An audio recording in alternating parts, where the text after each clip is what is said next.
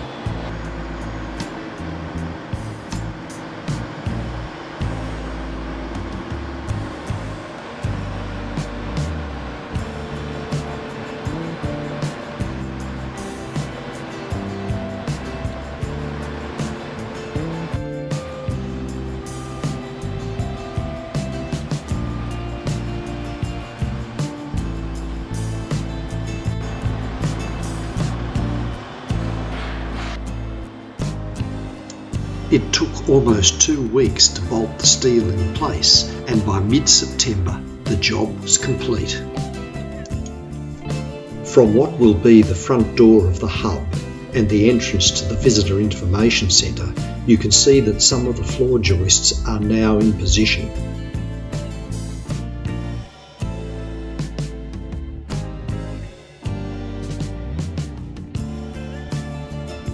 Visitors entering the back door will step into a foyer.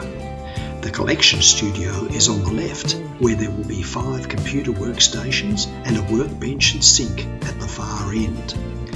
This view is looking back through the studio and across the foyer to the lift.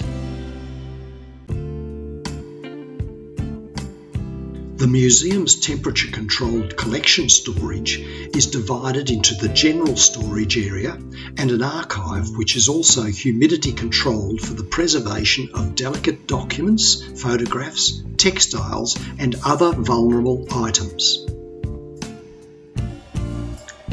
The builders have also been working in the library the southern wall has been partially rebuilt and the carpenters have been working to reinstate the roof structure and install the internal walls. Now that the steel is up, the measurements have been made for the roofing and that has been ordered. Building Supervisor Paul tells me that completing the floor joists and laying the floor in the museum, the VIC and the auditorium are next on the program. COVID restrictions have delayed the completion date of the hub back to the 8th of March. And with Geelong and the Surf Coast going into lockdown, that may cause further delay. Watch out for part 5 of Building the Queenscliffe Hub, the next in the series of videos being made by the Queenscliffe Historical Museum, documenting the construction of this exciting new building. It is free to subscribe to the Queenscliffe Historical Museum's YouTube channel and make sure you click the notification bell so you don't miss future videos. Also share and like to help our channel grow. Thank you for watching.